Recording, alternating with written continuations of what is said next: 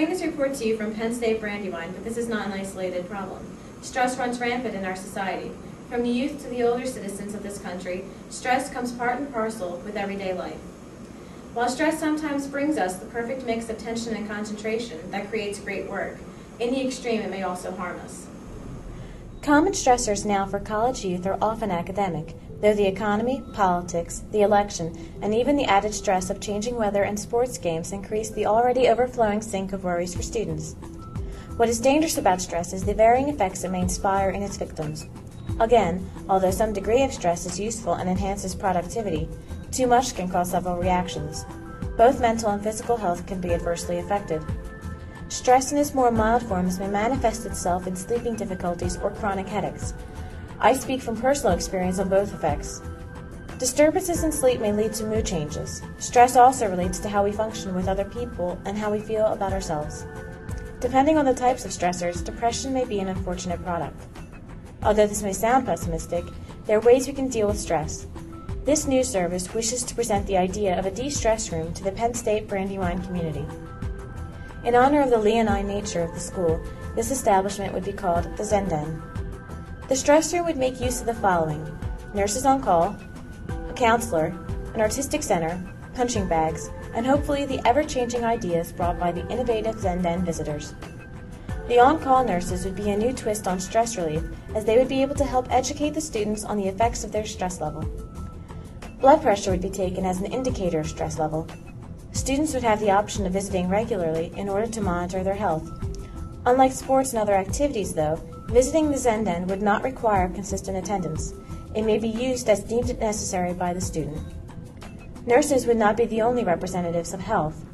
Counselors would be available for students who feel that stressors at school and at home have become too much for them to handle on their own. Outside of the professionals hired to help the students, there would be other methods of relieving stress. For some students, a physical release of stress may be necessary. In this case, punching bags would be available for these students. As the counselors would be available at all times, they would be able to monitor the stressed students to make sure they don't take the stress out on each other. Also, Paints, easels, and clay would be available for the students who feel they need to take a more artistic approach in relieving stress. Finishing this artistic endeavor again would not be enforced. Simply, the method would be used in the attempt to exercise the student's tension. In a world with an ever shifting economy, students worry about money. This room would be free to use. Tuition costs to be able to supply the school with this luxury and would see how beneficial the change in students would be to the school's atmosphere, production of quality work, and reputation. The Zen Den would operate along the same hours as the Vairo Library. So many students have to work and take classes at all times of the day. The Zen Den should be available to all students of this campus. So many other activities require time that some students are just incapable of giving. This room is meant to relieve stress and will therefore be available to any walk-ins.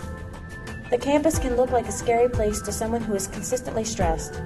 Also, if the stress level exceeds the control of the student, the Zen Den will be there to refer the student to a specialist. The campus cares about the students. This innovation is simply an extension of that care. If it is all possible to open the eyes of a student so that he or she may enjoy everything the campus has to offer, then we'd be doing something right.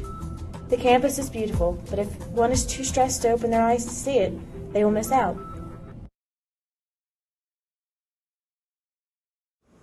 Ladies and gentlemen, I'd like to suggest that the campus make use of this innovation. Through my own research, I have not found another campus that offers this program. Some may offer health care to its students, but it is usually at a price. Let's change the campus by first changing the students. As we read in Innovation Nation, innovators need an accepting and diverse location. This campus has the ability to make it even more welcoming.